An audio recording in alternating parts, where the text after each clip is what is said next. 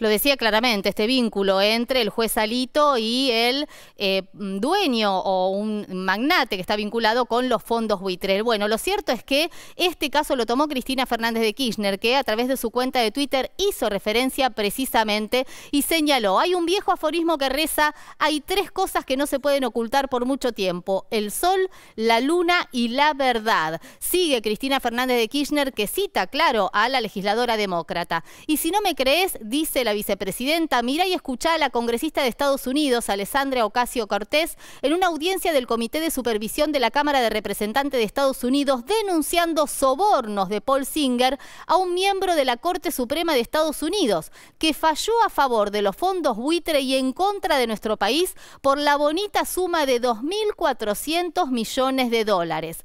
Que no te mientas más.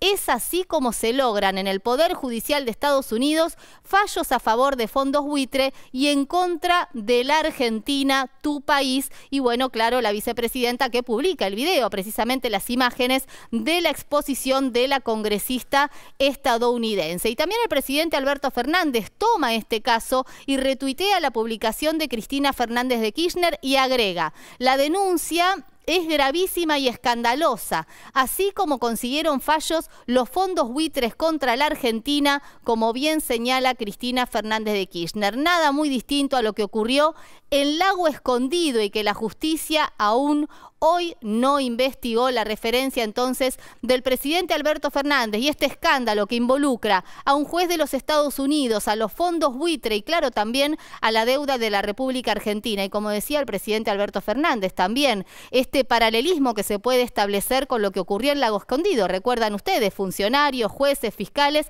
que viajaron a la residencia de Joe Lewis, el magnate británico que tiene una residencia en la Patagonia Argentina. Bueno, ahí hay otro conflicto vinculado con el acceso al agua escondido, pero bueno, este vínculo, el poder económico, jueces, fiscales y en este caso involucrada también la República Argentina y los fondos buitre.